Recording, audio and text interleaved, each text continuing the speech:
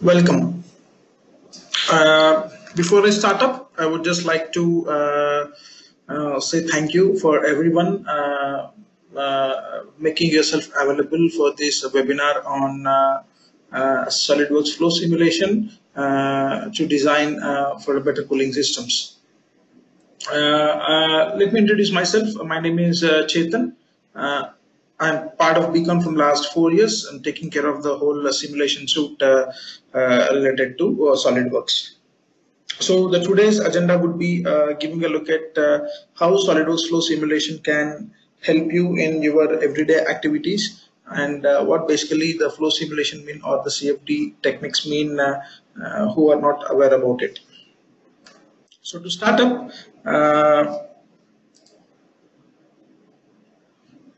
I would like to uh, take you through a couple of uh, uh, modules available in SolidWorks simulation. First of all, uh, what we call them as the SolidWorks simulation products. One is the SolidWorks simulation, what you can see to your left side, uh, which works on a finite element methodology. We also have a module for that. We, we have a module called SolidWorks flow simulation, which is on a, a CFD platform. So let us start up with the module for today, that is SolidWorks uh, flow simulation. So let us give a look at what basically uh, uh, SolidWorks flow simulation is all about. Uh, we'll also try to understand uh, uh, what do we mean by a fluid flow analysis and why do we have to invest in it. We also have to go through a few real life examples solved. Uh, we also have a few uh, industry specific modules uh, followed by a small demonstration and then a summarize of what we have seen in the in the overall presentation for today. This would be the agenda for the next uh, 30 minutes, followed by. So basically, uh, what do we mean by uh, fluid flow analysis? Is nothing but taking out uh, uh, real fluid, real life fluid problems or heat transfer problems, and then piling it, piling it up, and then putting up into into your computer into a virtual uh, environment, and then try solving it uh, by means of a technique called CFD uh, is basically uh, related to uh, analysis of flow simulation. So uh, who can basically get a huge benefit out of it is basically the engineers who are working related to uh, any flow of gas or liquids or any kind of heat transfers by means of uh, forced methods or uh, natural methods can definitely get a great benefit uh, by using this technology. Uh, what are the advantages of using CFD techniques is basically to reduce your uh, uh, prototyping and uh, the experimental testing, which can definitely you know lead uh, in a faster time to launch the product. Of course, uh, uh, if you are working on any kind of internal testings, maybe if you are into any kind of aerospace or automotive departments or any product related to uh, racing bicycles or something like that, where you go for a, a huge uh, kind of internal testings, can definitely uh, be uh, eliminated, and it is definitely less expensive comparative to the uh, the testing methods. Of course, we have a lot of ability to investigate more options, like you know what would be the output if I change a particular parameter like the velocity or uh, some some minute change in the in the design maybe a minute change in the material properties or maybe minute change in the finishing of the of the object. How it is going to you know affect the overall output? Uh, there are definitely a lot of possibility to investigate you know a lot of options. Of course you have a, a more uh, better way to visualize the outputs uh, in a much full colorful plots and uh, much uh, much easier way to have an access to uh, give a look at the outputs at, uh, in detail related to the overall flow domain of course, you require a you know, very less manpower uh, because uh, you have to spend more time in uh, more. You have to spend more manpower in any kind of you prototyping or testing conditions because you have to go for the design, then the manufacturing, and then the setup for the whole testing equipment and then put a lot of sensors and stuff so you can avoid all such kind of uh, you know, manpower activities previously uh, uh, flow simulation or CFD was basically uh, you know, implemented in later stage of the designs to especially to validate the designs whatever they have done. But slowly the trend has been moved to uh, rather than implementing at the later stages of the later stages of the design they have started implementing at the initial phases of the design so that the effort uh, of the uh, engineers is minimized at the same time uh, the, the production is not uh, compromised so you can see the graph so that the implementation of uh, the CFD to help avoid a lot of you know, activities have been you know reduced in the product development timeline by you know minimizing the efforts. So uh, to see, to be very frank, there are a lot of tools available in the tool in the market. So why only SolidWorks flow simulation? So I'll just go through a little bit of uh, a couple of examples on that. Uh, especially, there has been a, a big um, thinking in the in the minds of engineers that you know CFD is a very complicated platform or a very complicated tool. So there is always a huge barrier between uh, the design engineer and and the guy who works as a CFD uh, specialist. So um, so there is a huge wall. You know they they feel like.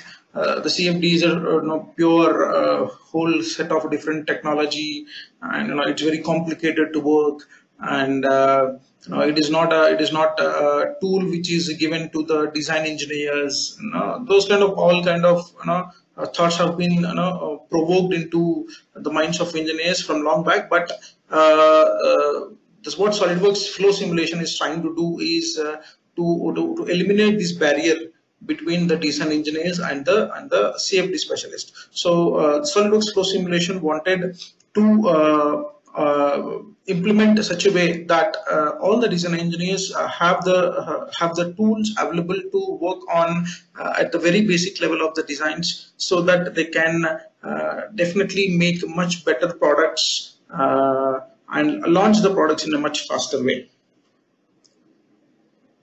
So few examples, if I give a look at uh, uh, the SolidWorks uh, flow simulation, if I relate it to a few real life examples uh, solved in using SolidWorks flow simulation, uh, the, it, it, can be applicable into a lot of industries. So like we can use it in uh, aerospace departments if you are working in any kind of aerodynamic applications. Not only in aerospace, we can also do it in any kind of other applications as well, like automotives or any kind of uh, commercial applications as well. Uh, we have electronics uh, module, especially related to electronic side. we'll, we'll work on that in the coming slides, give a look at how electronics cooling can be helpful to you it can also be applicable to you know HVAC room ventilation systems. Not only to room ventilation systems, it can be applicable to any kind of industries related to HVAC. Uh, how the flow is actually happening inside the, the room, whether the ventilator size size provided is sufficient enough to you know, give me the the better quality of air or not. So the application wise, it are too many. These are just few of them. These are just few of them. So these are the few applications, uh, what are the capabilities we have in SolidWorks uh, flow simulation, what we call it as a free surface. This has been a new tool which has been implemented in uh, uh SolidWorks flow simulation 2018. So we can basically find out how the uh, uh, things are going to work out on a, on a, on a free surface level. This is one of the very good and powerful tools which have been implemented in SolidWorks flow simulation in 2018. We also have a capability to work with internal flows, might be for uh, not only related to uh, valves, but any kind of internal flows. We can also work. We can also work on internal flow analysis.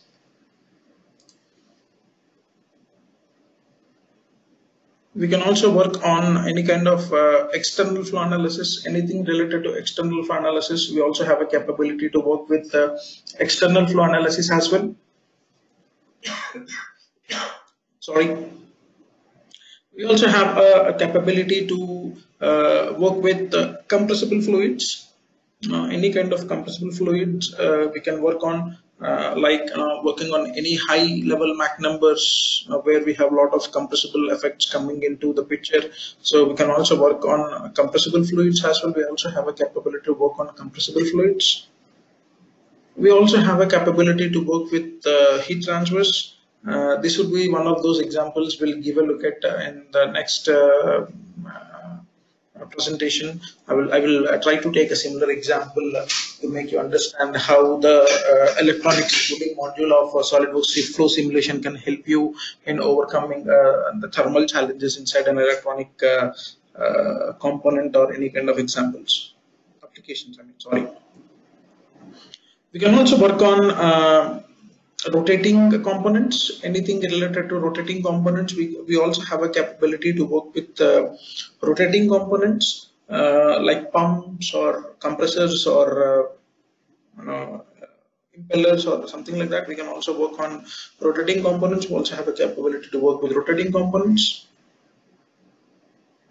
Uh, we also have a capability to uh, exchange the results from uh, flow simulation to uh, the structural because uh, since SolidWorks uh, is the only tool which is integrated on single window platform so the the methodology of converting the outputs from one module to the other module is uh, as easy as having a button have a clicking click at the button at your fingertip like you know i can uh, like for example in the previous slide you have seen uh, with because of the flow what would be the deformations. So i can easily you know exchange the results from my you know flow and see what would be the deformations or the stresses coming on the structure because of the only as the flow as a the load onto it. We can also work on a non-newtonian fluids uh, anything related to non-Newtonian fluids, especially into any kind of medical industries, like the flow of uh, blood in any kind of an equipment uh, in the operation theaters you are using, or maybe in any kind of food industries, uh, like you know, apple sausage or honey or something like that. Now we can also work on, on non-Newtonian fluids. We also have a capability to work on non-Newtonian fluids as well. We can also work on uh, time dependent analysis that is a transient analysis. So uh, we also have a very good uh, features and uh, uh tools available to work with uh, you know, time dependent time dependent analysis. We can also work on quite advanced radiation modules. Uh, we also have a heavy radiation modules available. So if you wanted to work on any kind of radiation modules we can also work on advanced radiation modules as well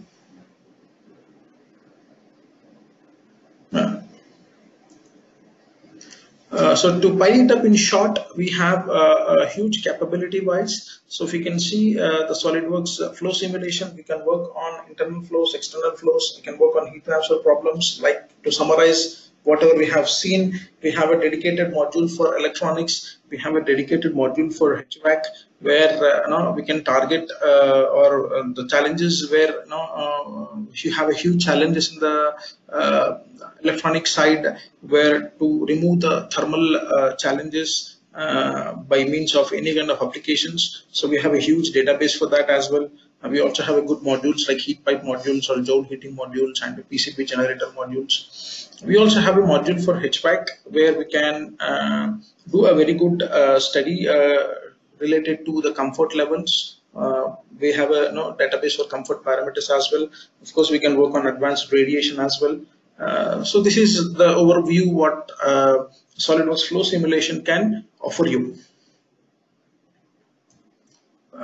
Come up with the applications of these verticals, uh, applications of these tools. It has been applicable into a lot of industries for SolidWorks flow simulation. You can see uh, electronics, 23%, uh, valves industry, 16%, a lot of applications like aerospace, education, transport, machinery, medical. So uh, whatnot. We, so we can, we can, there are a few things, uh, uh, no, there are a lot of things what we can do a lot in a lot of industries. So coming up to uh, the advanced modules, uh, we have got electronic cooling and HVAC analysis. So let us give a look at the electronic cooling because uh, today we are focusing on uh, uh, the thermal challenges related to electronic side. That would be the agenda for today's presentation. So I'll, I'll take you through a little bit of technical uh, info related to electronic cooling. for any other information, you can please contact us anytime. Um, uh, for any kind of other information, like for HVAC, if you're interested in HVAC, you can let us know. You know, we can come down, discuss with you, and showcase uh, the capabilities related to HVAC to you if you are really interested on that. So electronic cooling design module, it's an industry specific tool uh, where uh, dedicated simulation tools for thermal management studies for electronics uh, department or electronics design side. Uh, uh, companies who are facing thermal challenges with their products uh, and definitely require a very accurate thermal analysis of their electronic enclosures can definitely get more ben you know, can get more benefit out of these particular you know tool which is uh, there with the uh, SolidWorks flow simulation.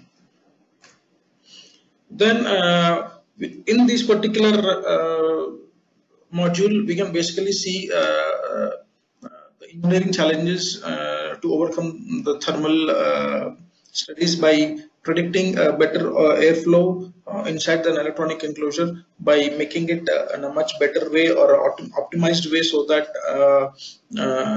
the right amount of uh, ventilation is provided. Uh, definitely, uh, we can see the components which are generating you know, more heat and which what it needs is to dissipate to avoid over risking. So we can definitely give a look at the temperature as an output. We also have uh, heat sink selections uh, to make it a much better uh, designs. We also have better uh, fan selections as well so that uh, we can give a look at uh, how the the uh, fan is behaving with respect to, to your uh, design whatever we have provided. Not only this we also have uh, conjugate heat transfer capability so that we can work on conjugate heat transfers as well. We also have a, a very powerful tool called two resistor component models uh, so that we can describe the thermal behavior of the chip. You know, uh, uh, with, with its interconnection with the PCB boards and the environment. we have a fully supported two resistor models according to JEDEC standards. Uh, we also have a module for heat pipe compact model, uh, one of the definitely one of the most uh, effective heat removal systems we also have uh, PCB uh, standards. We also have a sorry. We also have a PCB module available uh, according to your applications. So if it is you know, multi-layer PCBs like four layer or eight layer, so we can also you know um, uh, define those uh, you know layers to give a look at how the the PCB is working out with respect to the uh, the thermal or application point of view we also have a capability for uh, joule heating as well. Uh, in the joule heating, we can uh, uh, include the heat transfer calculations by means of conversion of electricity into your uh, temperature as an output. We also have a huge database for uh, the library. We have a huge database for the library available for different kinds of materials. And of course, we have TECs, we have you know, fans we have solid materials. Of course you know uh, you have the leverage of uh, you know, customizing your uh, uh, material database you know according to your requirements as well if you want. So if i give a go go and give a look at the the product demonstration uh, i would like to before i start up you know uh, i would like to say if you have any queries now please you know feel free to put a message to me. Please feel free message no feel, please feel free to put a message to me.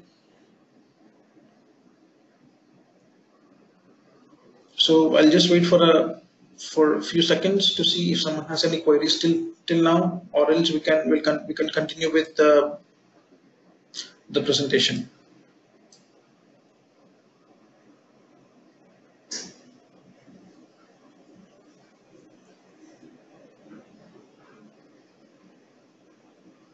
Okay, I think uh, there are no questions. That's good. So that means you're following me. Thanks for that. Uh, so let us go uh, with uh, a product demonstration related to electronic side. I will try, try to take uh, uh, an electronic enclosure to make you understand you know, how can we predict the, the, thermal behavior inside electronic enclosure.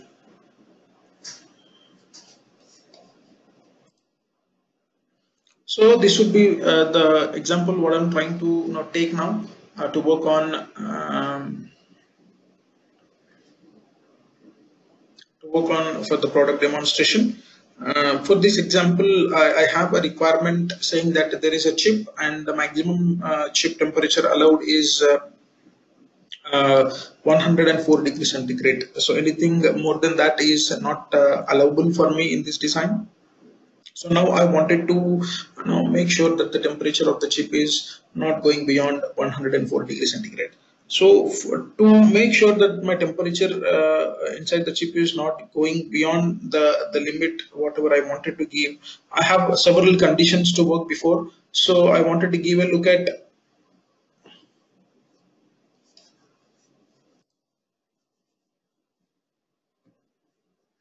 I'm sorry.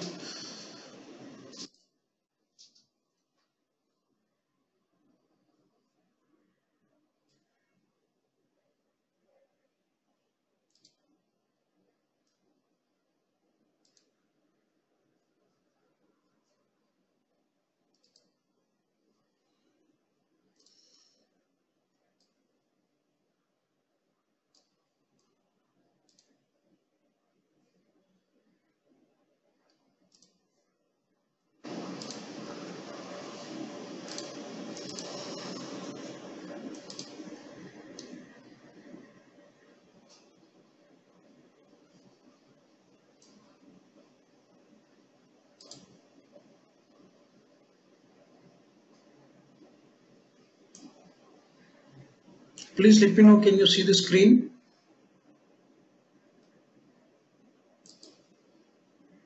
Okay.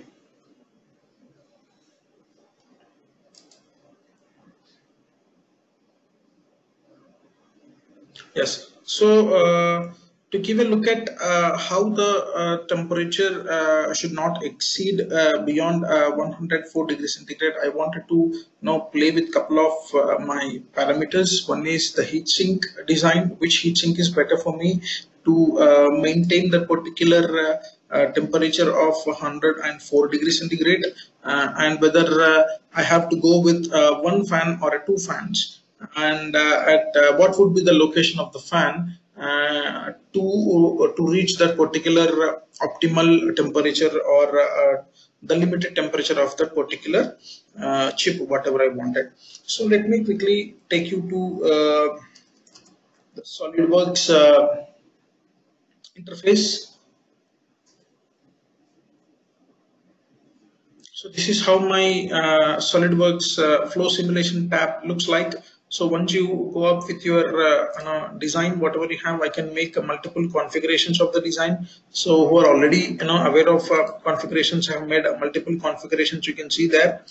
Uh, this is the flow simulation tab. If you can see, this is what I call it as a single window integration. So I can work on the flow simulation right away on my design platform of uh, whatever the design what I have done. So in the flow simulation, firstly I go with the setup, what I go, what I call it as a wizard. So in the wizard, I go and set up the project. Uh, like what would what would be the kind of uh, analysis you wanted to perform so let me say i wanted to perform uh, uh this is with uh, heatsink 3 and uh, one fan. So that would be the name of the study what I define. So if I just go it's, it's just you know define the standard set of units whatever you wanted to work with. Define what kind of analysis you wanted to go with internal or external. You wanted to include uh, uh, transient analysis I can go with uh, you know, time dependent if you wanted to include heat conduction of course you know heat conduction in solids plays a very key role. And you wanted to you know work with radiation I can also work on radiation modules as well. Uh, if I go with what kind of you know uh, solids or uh, uh, gases you wanted to play with I can define them.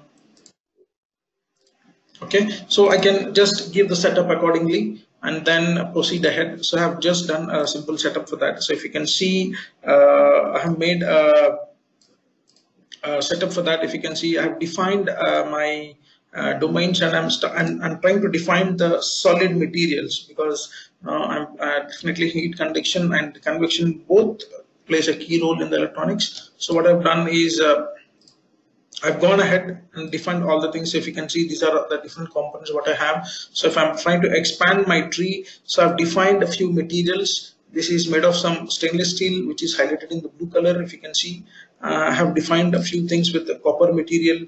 Now these are uh, preset standard materials. So I just right click and insert a solid material and uh, select the particular property and I go to predefine and choose what kind of uh, you know, things wanted you wanted to define and so just apply to it, it, it automatically you know takes up the, those materials. So I've defined predefined things. So if you can see, I have also defined a PCB which is actually made of a four layer. If you can see, this is a PCB board which is made of four layers. So we can also work on uh, know, two layers or eight layers also if you want. Uh, let me say you wanted to go ahead and work on any kind of advanced layer of PCBs like 16 layers or something like that.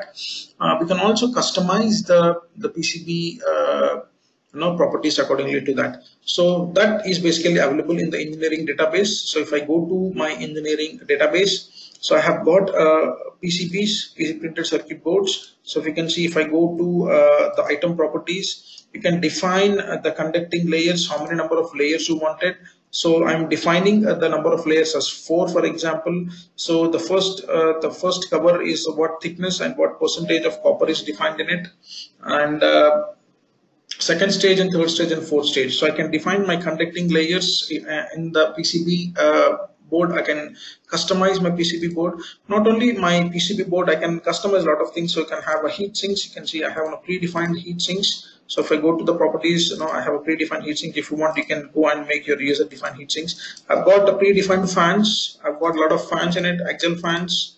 So if I just try to expand, you know, huge database, you know, uh, standard fans. So I go to the properties, you know, huge database of the fans. I've got what is would be the flow rate uh, available for the fans. So basically, this is nothing but fan curve. So not only the fans, I can also have a huge database for my solid materials as well. So if I go to materials, I've got uh, solids. So I've got the predefined values uh, like alloys. In the, in the, alloys, I've got you know, standard materials. If you go for building materials, I've got you know, uh, building materials as well.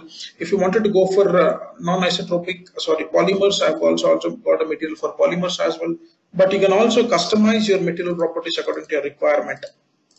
Not only for the solids, we have got materials for the gases, liquids, compressible liquids as well. So just save it and start using it according to your requirement. Okay, so I've defined my solid materials accordingly to that and I'm defining my boundary conditions. Let me say this is the place where I have uh, the opening. So this is just a, nothing but environmental pressure. So this is nothing but an opening, whatever I have.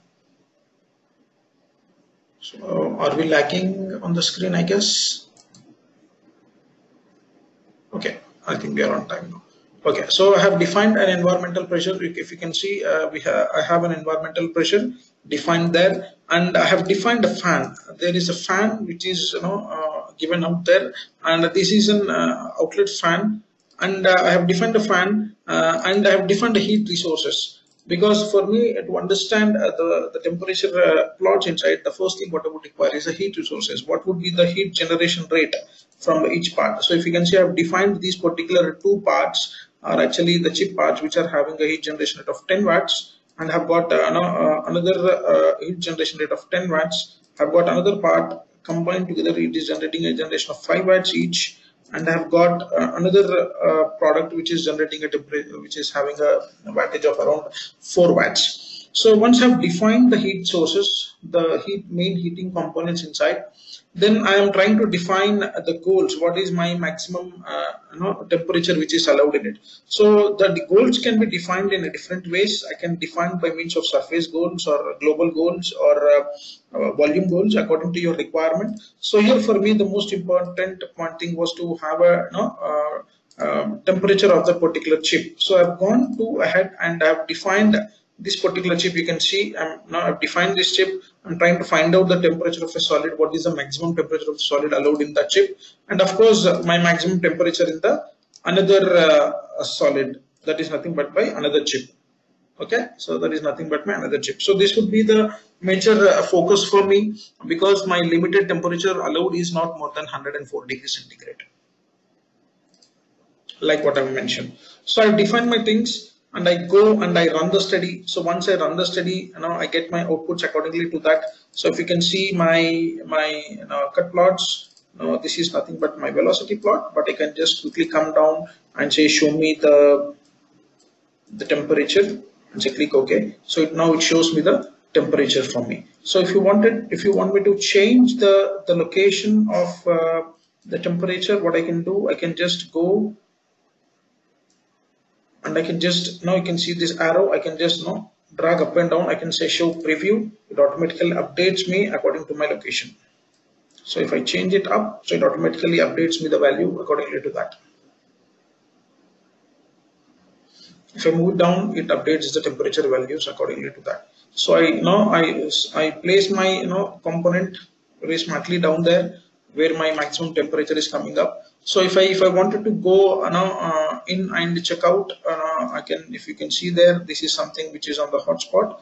Uh, I can say like show me the maximum temperature on the plot. So click on that and show me the maximum minimum temperature on the plot and click on that. So on this plot it is somewhere around 130 degrees centigrade. So you can see the red hotspot is somewhere close on the chip. So it is somewhere close to 130 degrees centigrade so somewhere like that i have if no uh, from that particular uh, no, uh, analysis what i could understand is so the maximum temperature is somewhere going close to 130 degrees centigrade. I can also not uh, i can also you know, see the flow trajectories if you want. What i can go on i can just show the flow trajectories. No i can just uh, you know play the trajectories. So you can see basically the fan is sucking in the air from the environmental things and then you know, uh, taking out the hot air out of it uh, uh, from it. So I can basically see how the flow pattern is actually happening inside my enclosure as well. So you can basically give a look at uh, how the uh, the air is you know, moving inside to you know um, take out the the heat out of it. I can just you know stop it, stop the trajectories the similar way what I have done, I have done the analysis for multiple multiple uh, possibilities like whatever I have you know, shown to you before. And it's as easy as for me because I don't have to you know, repeat the stuff. Now what I have to do is just right click and say clone the project and uh, change my fan location accordingly to it. So here, firstly, I have to, you know, sucking the air, then I've run, run one analysis by blowing the air, now I have done another analysis uh, by making uh, by, by taking a different heat sink with the two fans. I've done another analysis uh, uh for heat sink 2 by taking two fans. So you can see my configuration changing in it. I have also done multiple multiple studies on that. I have done multiple studies uh, no, accordingly to that. So once I've done my multiple studies in it,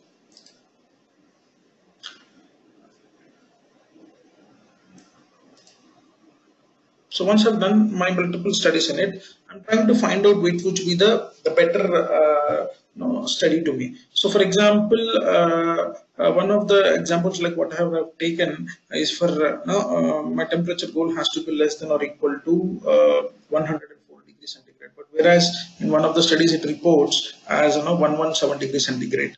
But whereas if you see in this image, I have taken the fan in the middle location. You know, compared to both the uh, both the heat sinks. Now then I have gone for two heat two fans. Uh, then the SolidWorks reports to me as uh, now uh, 108 degrees centigrade uh, with uh, heat sink 3 in this particular example. Then what I've gone is gone for a change in the heat sink, then applied for two different fans. Then it, it, it definitely shows temperature way less than what I wanted. Uh, it is around close to 97.5 degrees centigrade. so um, uh, that means it is much lower. Of course, it is good for me, but then I wanted to give a look at whether one fan would be sufficient enough or not. So I've tried with uh, another fan um, no, location. So with, with the different configurations, whatever I have shown to you, I have worked on that and then try to find out uh, which, which would be the, the better heat sink design uh, and uh, the better fan location for me and what kind of fan I have to you know, work with, whether it is a blowing fan or uh, a fan which is throwing air into the electronic enclosure. I have to you know, uh, work on multiple configurations on that then now uh, coming up to a conclusion saying like this particular heatsink design with uh, one fan which is at the middle of uh, the both the heat sinks can give me uh, uh, a temperature of around 102 degrees centigrade which would be the the the the best uh, combination or the best one what I could you know find out according to the configurations and the heatsink designs what I have got, the location of the fans I have got. So uh, at the end, I could you know uh, definitely come out with a conclusion saying that you know, one fan with uh, heatsink, uh, heatsink or you know this particular heatsink can you know uh, help me out in uh, you know, reaching uh, getting the optimal design of temperature of value at 102 degrees centigrade. So to, to summarize whatever we have seen now, could uh, say like uh, uh, SolidWorks flow simulation can be applicable in a lot of industries. If you can see the images, it can be applicable to a lot of industries. But the best point is, uh, it is easy to use, right? Uh, like, I mean to say, you have got a huge database of materials. The environment is not new. Uh, and SolidWorks is well known for its easy user interface and it is still maintaining the same um, interface in whatever the module you're trying to work. So the, the learning the tool is not a big uh, challenge. So the learning curve is definitely a very, very small compared to any kind of tool available in the market and of course uh, since it is integrated with solidworks you know like what i've mentioned what if my heat sink you know is changing? What if my fan location is changing? What if my you know you, if you, you know we also have a good tool for optimization as well. So if we wanted to work with optimization we can also do parametric study with respect to my design parameters or flow parameters. We also have a very good tool uh, uh, in uh, in um, electronic called EFD zooming now uh, we can now we can we can definitely show a lot more things. There are a lot more tools a lot more uh, uh, uh, tools available so that which can lead to uh, you know launch your product in a much much faster way. So definitely uh, solidworks flow simulation can help you in making now better decisions at the design phase so that you can you know come back and say okay whatever i have taken is the the whatever the changes have done is you know uh, validated or not right at the design phase itself. So that's all what i have from my end. Uh, i would be open for uh, questions uh, for next few minutes couple of minutes. So if you have any questions you are definitely free to ask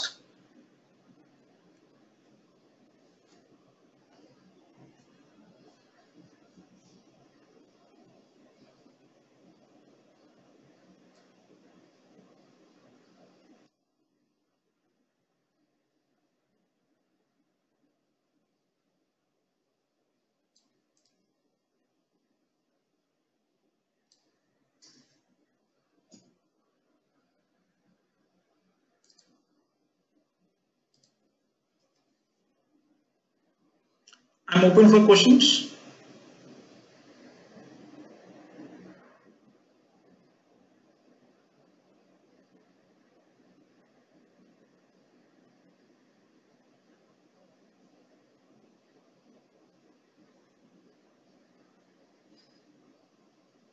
I don't see any questions popping out. So uh, I would like to say thank you for your uh, you know interest and uh, participation in the webinar. Now let us know if you have any other further information uh, so that we can come back and discuss in much details for you. Thank you so much.